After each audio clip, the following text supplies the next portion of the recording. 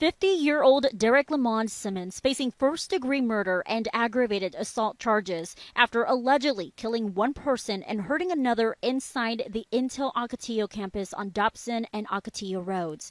Chandler police receiving multiple calls about a man with a hatchet inside the cafeteria just after 6 Saturday morning. When we arrived, one of the individuals was deceased, another one was gravely injured, um, and the third subject was uh, the individual who uh, committed this crime. According to court documents, police say Simmons allegedly killed one victim with a baseball bat, a hatchet, and a knife. Witnesses telling police Simmons struck the first victim in the head multiple times with a baseball bat.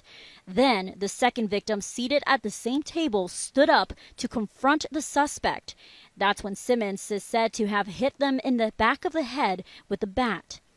However, the redacted document does not include how the hatchet and knife came into play. Regarding the uh, weapons that were used, we're not going to disclose that this time.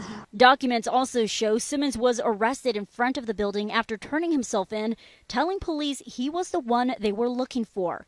He was found carrying a duffel bag with the weapons used inside. Investigators still trying to figure out why Simmons allegedly did this, but according to the police report, it was a premeditated attack.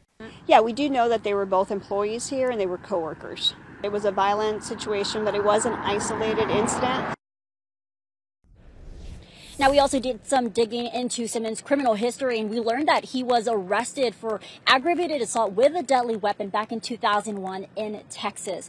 Intel also getting back to us tonight, telling us Chandler police are on site and working closely with Intel security during this investigation. Reporting live in Chandler, Casey Torres, Arizona's family. Disturbing details.